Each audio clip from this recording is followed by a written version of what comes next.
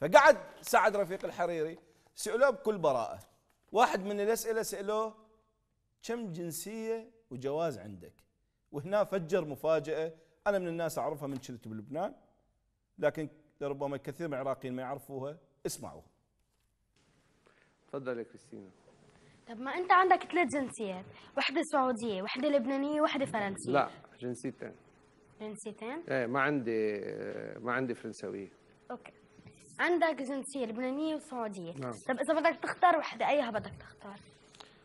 بدي اختار وحدة؟ نعم. يعني الواحد آه، هو مش قصة اختيار قصة الواحد آه، أنا ولدت بالسعودية that's why عندي ال- الجنسية ال- السعودية. وأنا لبناني يعني يعني كمان أمي عراقية. يعني في الواحد ينكر إنه أمه عراقية. لا. هلأ بيطلع لي الجنسية العراقية. فيني أقول إنه أنا من نصي مش عراقي. بلو مش لأني والدي من السعوديه جزء مني بيكون سعودي وجزء مني بيكون أكيد لبناني لأنه بي لبناني.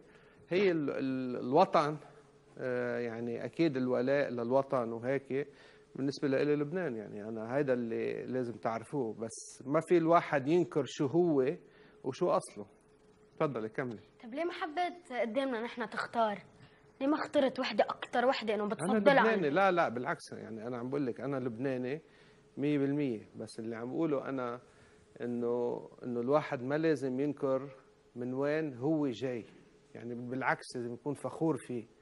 حتى اليوم يعني في أشياء يعني أنا بس لما كانت الحرب بالعراق شو بت- بتخلى عن العراق؟ لأنه امي عراقية. هذا شيء أنا فخور فيه إنه امي عراقية. وإحنا هم فخورين إن ابن أختنا سعد رفيق الحريري ونفتخر بيك وب أبوك همين الله يرحمه الشهيد رفيق الحريري نفتخر بيك. لكن أنت يا, يا أخي الشيخ سعد تقول آه، ليه ما يطلع لي جنسية عراقية؟ يعني ما يحق لي آخذ جنسية عراقية؟ أول شيء بالقانون ما يحق لك لأنه إحنا ما عندنا القانون ما يمشي إنه على الأم. ما عندنا مو ماشي هذا الشيء. مثل ما ماشي ممكن أعتقد في لبنان وأعتقد في مصر وبلدان أخرى وبتونس لكن إحنا ما عندنا ماشي.